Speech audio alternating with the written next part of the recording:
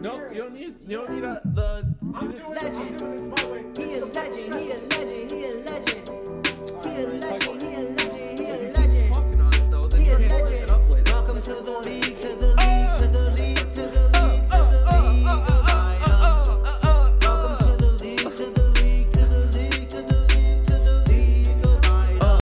Welcome back to Summoner's Rift, where we have a lot of games to get through, so now it's time for the rapid fire recap. In China, our day began with Invictus Gaming taking on Suning, and everybody won fun tonight. But Rookie and the squad weren't the shy as they puff puff passed around Suning, who got smoked 2 to 0.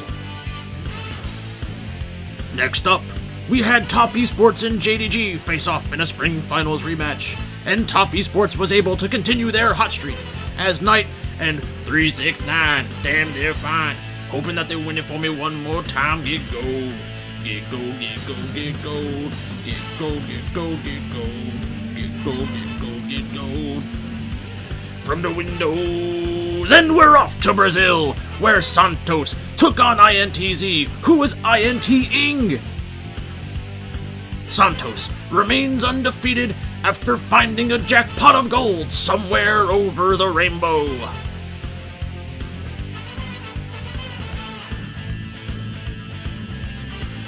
Tinowns was keyed in and dominated Vivo Keyd with an unforgettable LeBlanc performance. BRTT and the boys move to 3 and 1. Flamengo Esports finally picked up their first win as Your Mama Boy Blue made his Brazilian debut. KaBuM and Furia faced off in the match of the day, and after a ridiculous number of team fights, KaBuM came out on top and improved to 3 and 1. On the other side of the world, the LEC was finishing off Super Week, and the Mad Lions beat the overachieving SK Gaming side behind the efforts of Does that make me crazy? Does that make me crazy?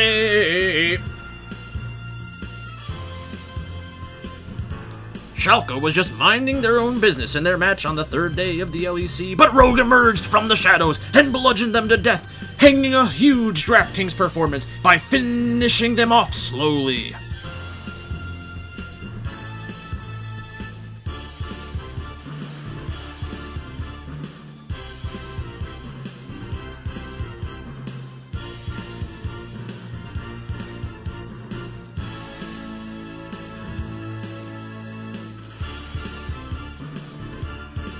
Origen forbid off more than they could chew, as Forbidden and the Misfits make up for their embarrassing day one loss with a big upset victory over a top three team in the LEC.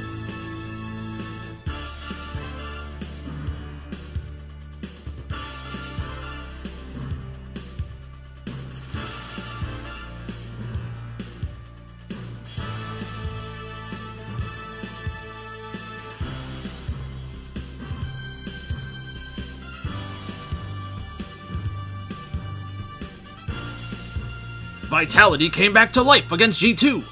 You've got to wonder if there was any match fixing going on here, as the 625 favorite was dominated thoroughly and rolled over.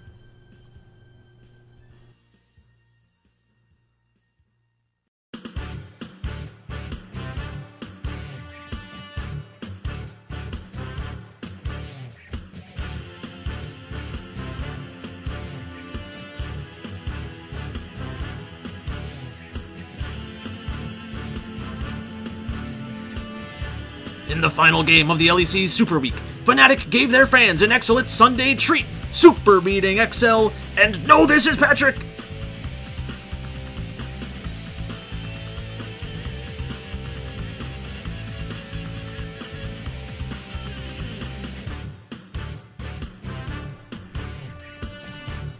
Now we're going, going back, back to Cali, Cali, where the LCS had their final matches of the weekend. First up, the reigning champions were on Cloud 9, led by Niski Business, who chopped off 100 Thieves' hands.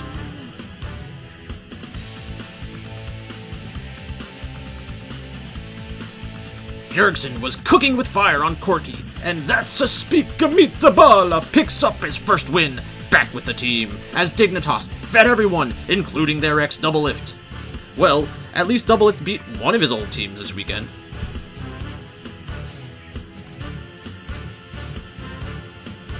Team Liquid continued their strong week one, as they closed out Closer and the Golden Guardians with ease.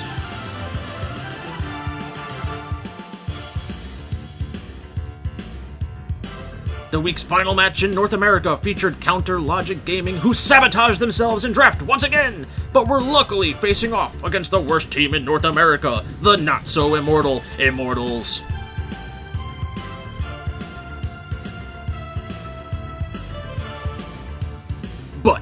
The match everyone is talking about took place early this morning in China, where E-Star did their best Road Warriors impersonation. In Game 1, against Bilibili Gaming, Wei Yan threw on a Wei mask, and hey now, he's on E-Star, and the team picked him, Graves. Hey now, he's a jungler, takes might get paid, but Wei took Ignite, and Billy Billy Gaming wins Game 1. E-Star managed to pick the right summoner spells in Game 2 as the one-eyed man Wink carried hard. But Game 3 went the way of Bilibili Gaming, who smile and wave, boys, to Wei and his E-Star accomplices.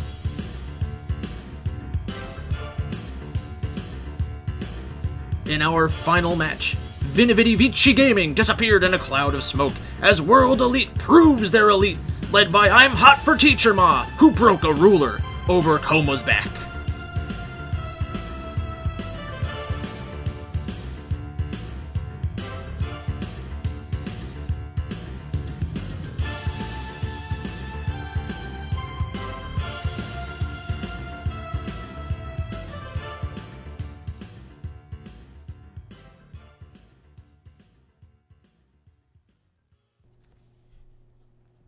Hey, what's up, everybody? It's Michael with League of Items.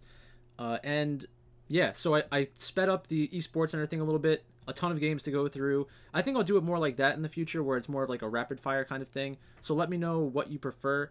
Like I, I can still do some stupid jokes and like those like song bits and stuff like that without without it taking so long, and hopefully like more people actually watch it. So, um, so this is this is where we're at for the season so far. I'm 41 and 22. I'm 15 and 7 in the LPL, 68% win rate. In the CB LOL, I'm 10 and 6, 63% win rate. NALCS 8 and 2, 80% win rate. LEC 8 and 7, 53% win rate. And that in the LC LEC is with like a horrible uh, first day, or maybe first two days. Um, but that, that's 41 and 22 overall for 65 win percent, which is pretty good. Um, so yesterday in China, we had a wild happening in uh, that E-Star and Bilibili Gaming match. So the jungler picked the wrong summoner spell. He probably just had it up for some reason, and that's why there was a long delay in the beginning of the game because I think they were talking about remaking the game or not and like what whatever the rules are because after the 20 second mark you're not allowed to trade champions or change summoner spells or do anything like that. So I guess they have a really strict stance on it where you're not allowed to to remake the game, which is pretty stupid. Like there's no point in playing a game where one of the junglers doesn't have smite because it makes objective control nearly impossible. Like you can never try to take a dragon or a baron when the other jungler's on the map because they, they'll have an extreme advantage over you. And then also the jungler is going to fall uh, very far behind in terms of experience in the jungle because every jungler, uh, when they have smite, is able to pick um, the jungle items that give you bonus ex- bonus experience when you're killing jungle camps. So that's a huge mistake by Bilibili or uh, by E-Star. I wish they just restarted the game. Uh, it's a stupid way to win, but it made some of my lineups better, uh, sorta. Uh, interesting, interesting that it happened. Like I said in my video yesterday, I thought Bilibili Gaming was a live dog.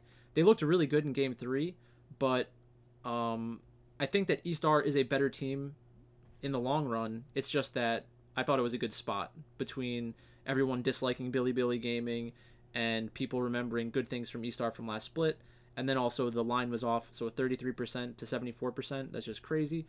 Um, so yeah, I'm happy with that one. I did I did end up picking E Star, so that's a loss, but that's the kind of loss that I can live with because I got some exposure to Bilibili Gaming on DraftKings, and I ended up going even on DraftKings yesterday because like some like some weird lineups took down all the all the tournaments.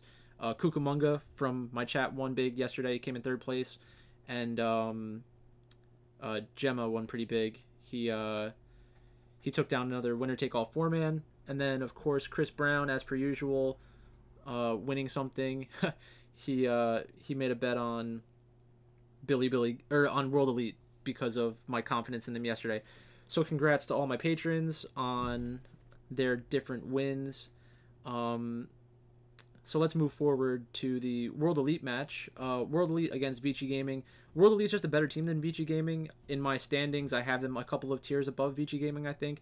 Vici, people want Vici Gaming to be good because they have iBoy and because they have Coma, but it's not the meta for them yet. I think we are headed in that direction, and maybe that'll make them a better team overall and like more consistent and able to play to their win conditions better. But right now, I think the game is a little bit faster, that a little bit too fast for them, and it's perfect for World Elite. Uh, so I was on World Elite, no problem. So tomorrow we have LGD and DMO. Let me get up DraftKings actually.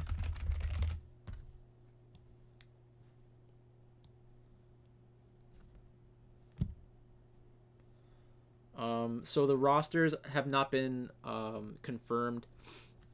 I wouldn't be surprised if LGD plays Garvey again tonight to try to get him some more stage time.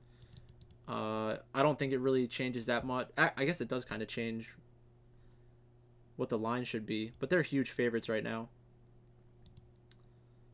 Ooh, they put up the LCK slate. Nice. So I'll do a video on that tomorrow. Wait, that's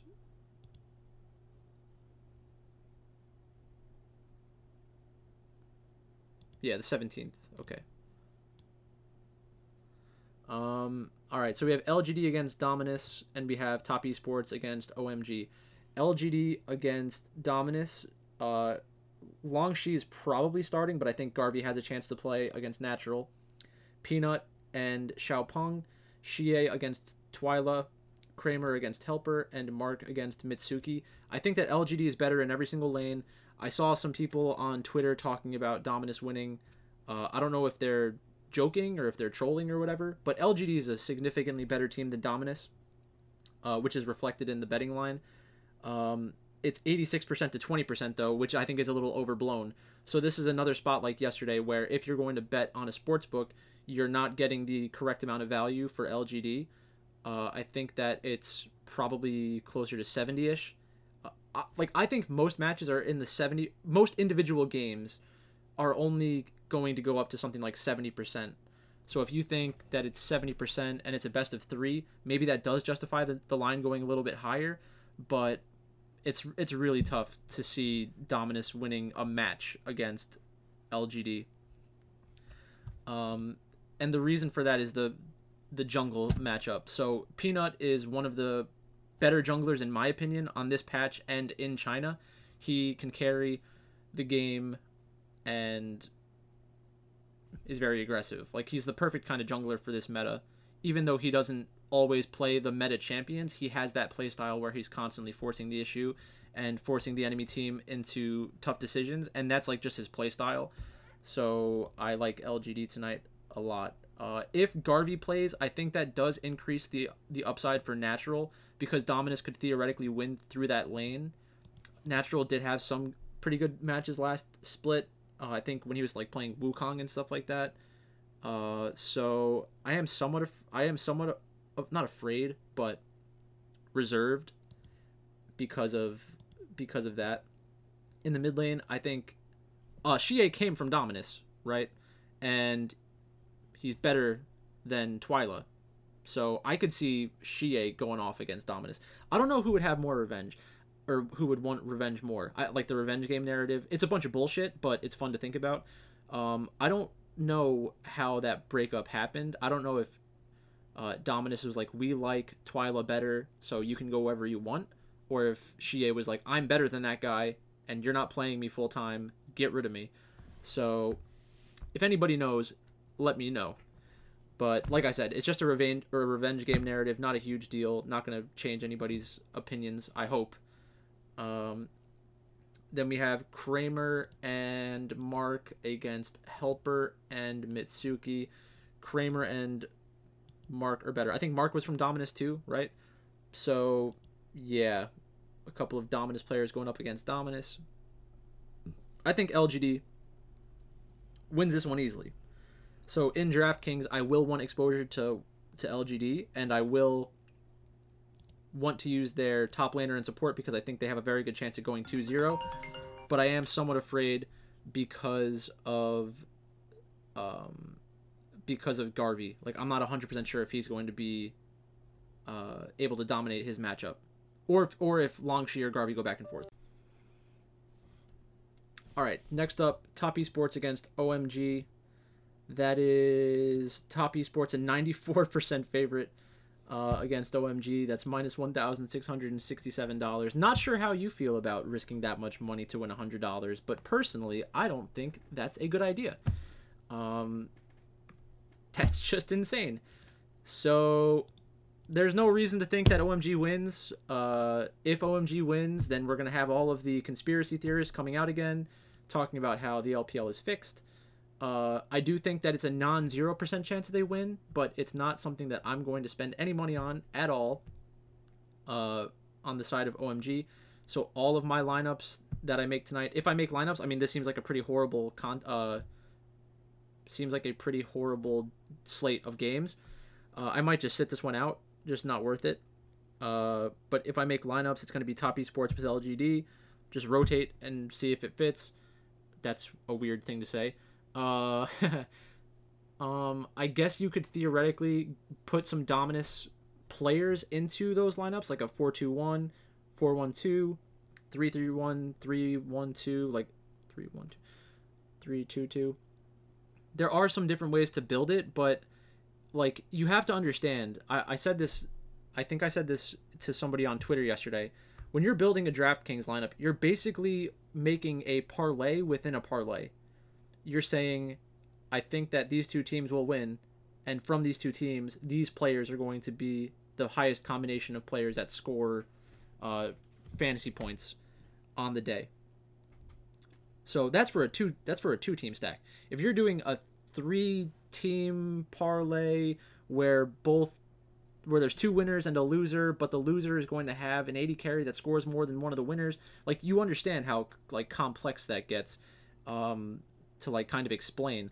So I think that in the long run, that is not a good way to build lineups. We're stuck in that position because of the two game slates. Um, so if that's the kind of lineup you want to build, like that's how Kukumunga won uh, yesterday. He had four players from World Elite, two players from eStar, and then one player from Bilibili Gaming. And it just happened. It just so happened that it was a three game series. The kill score was roughly close for those two teams. Wink did really well for one team. Fofo did really well for the other team, or relatively well for the other team. Um, but like we're playing with very slim margins here when we're when we're making those kinds of lineups. So I think that if your goal is to not be duplicated and to give yourself a chance at first place or something like that, I mean technically yes, those lineups do have a shot. But if you're going to run out like if you if you had to pick a lineup to run out every single night for a month straight, that's not the kind of roster construction that's going to be the most profitable unless you get one of those 1% outcomes. So I'm not telling you that you should or shouldn't do it. I just think that the two game slate forces us into this situation and nobody likes it. Uh, so that is basically it. I think that LGD and Top Esports should both win pretty easily today. Uh, if you want to get different, good for you. Uh, but otherwise, that's it for this video. Uh, the LCK starts up on the 17th, and that is when we will start getting larger slates for LPL plus LCK. I can't wait. Very exciting um, for that league to come back as well. Um, but yeah, if you if you have any suggestions for the channel, uh, just let me know what you think I should be doing. Um, I'm trying to tweak the esports center stuff continuously because it, it, it is pretty time consuming, and I've I'm starting to realize there is like a small uh, there's a uh, there is a vocal minority that loves esports center and keeps telling me that they love esports center but most of you are here for like picks and stuff like that. So i'm trying to make both groups happy so that everyone just watches the entire video instead of skipping around. Um, and of course as always uh, patreon is still an option for everybody. If they want to support the channel you get access to discord. So once you sign up for patreon message me on twitter or uh, on patreon and i'll get you a discord link as soon as i can. Um, but other than that i hope you enjoyed this video and i'll talk to you tomorrow